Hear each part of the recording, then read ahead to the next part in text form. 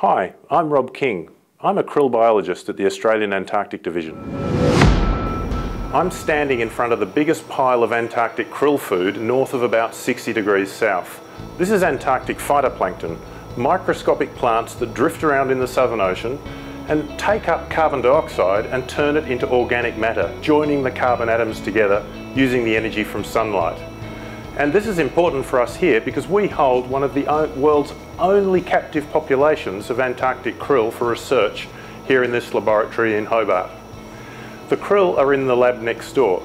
The phytoplankton here are grown in these cultures to mass produce to feed krill some of the food they'd be eating in the wild. This is just two species, a red one and a green one, both with a photosynthetic pigment for trapping sunlight to take that energy and put it into the chemicals that they're making to pass up the food chain. Now what's important about the Southern Ocean is that food chain starts with Antarctic krill as the next customer eating this phytoplankton. And then the great whales, the seals, the penguins and the squid all rely on krill being there in vast numbers, up to 500 million tonnes of krill swimming around the Southern Ocean.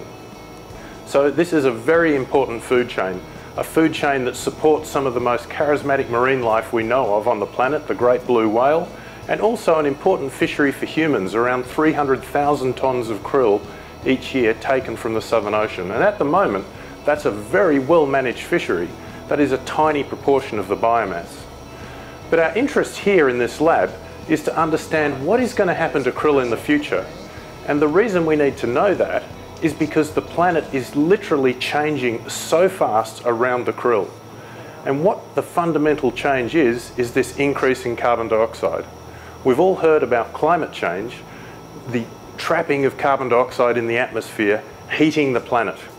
But there's another carbon dioxide problem, and that's called ocean acidification. And that comes about because this extra carbon dioxide that we're putting in the atmosphere is dissolving in the world's oceans.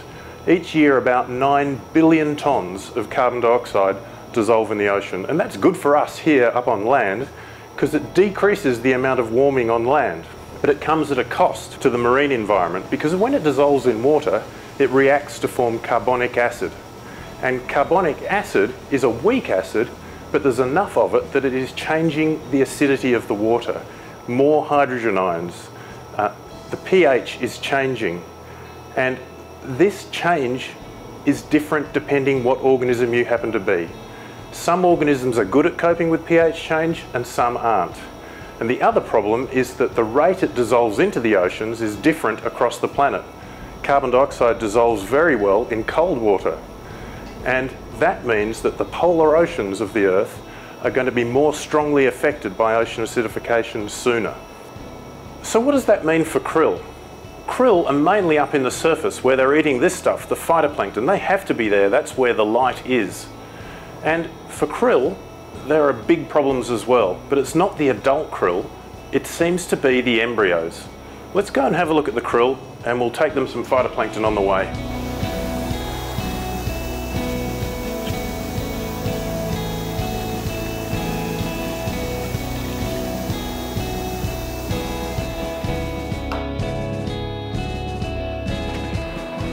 This is a little piece of the Southern Ocean. There's about a thousand litres of seawater in here and about a thousand Antarctic krill as well. They were brought back to Australia on the Aurora australis and we're keeping them here to produce eggs, eggs for research on ocean acidification.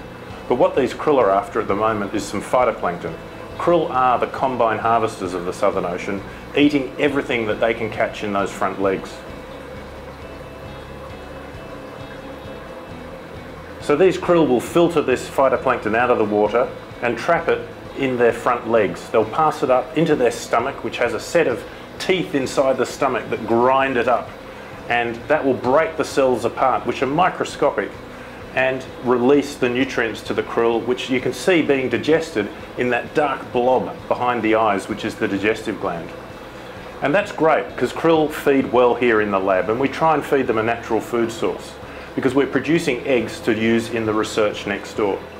And what we've found in the research is that if you apply ocean acidification to Antarctic krill, you really don't see a great effect. The krill as adults aren't really that bothered by the sort of levels of ocean acidification we expect to see over the next 100 years if we were to do nothing about our emissions of carbon dioxide.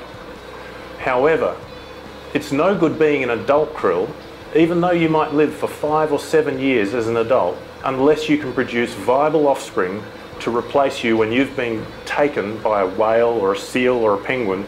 You've got to reproduce or you'll be gone. And it turns out that the eggs of krill are vulnerable to ocean acidification. Now, why does this matter? Because ocean acidification is coming fast in the Antarctic. There are in fact krill all over the planet, all the world's oceans, but it's the krill in the polar oceans, and particularly this very important Antarctic krill, that really could be a key tipping point for the Southern Ocean ecosystem. When krill are spawned, they spawn at the surface.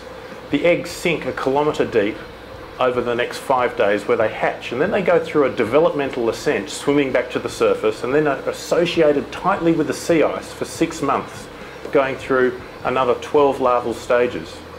So sea ice is very important to krill, uh, but the journey is even more important because what happens is those krill are sinking through layers of the ocean that have different concentrations of effective carbon dioxide gas in them.